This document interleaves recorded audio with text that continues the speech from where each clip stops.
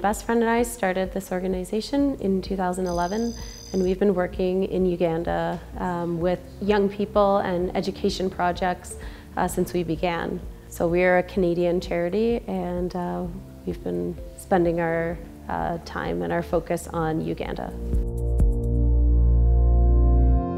So the place where we're at right now is the Hackerspace and it is owned by an American organization called Hackers for Charity.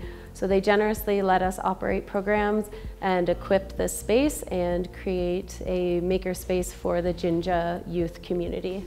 We were going around to schools just to kind of get a feel for kids that had some a little bit of experience but a lot of passion to go along with it. We've been had a good relationship with Jinja SS to find students who are passionate learners and dedicated and trustworthy to have access to this place.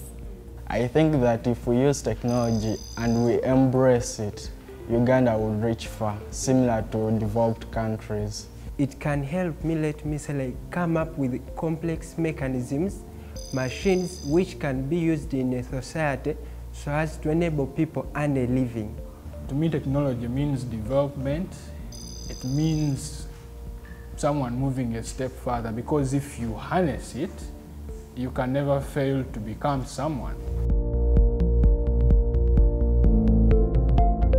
So two years ago, we kind of, the students on their own decided that a project they wanted to undertake was to build a drone.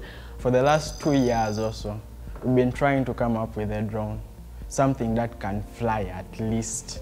Though we haven't been able to achieve it yet, but this is one way out. I'm here as a programmer of the team, Gerobotics, which operates in this room.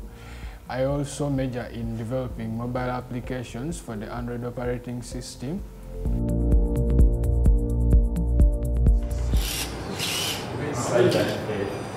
It took me quite a period of two weeks to come up with research because the knowledge for first sketching it out, it takes some time and also the building part of it, it takes also quite some different times.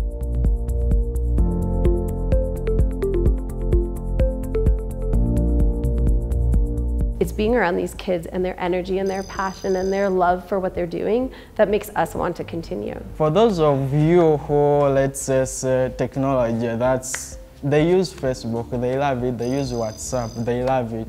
So why not embrace something that's new? A drone is cool. One day I can create a drone that can be sold and I become as rich as Zuckerberg. Technology is not only for rich kids, but also the poor ones can manage. My message to people, especially the girls in Uganda, in terms of technology, is that you are needed. Yes, they are needed because in my field of making applications, I would need someone to design them for me. And I believe girls are perfect with colors and stuff. So I want them to know that in technology they always, always fit somewhere. If they can't design, they can always market something. Women don't have the voice to do the marketing.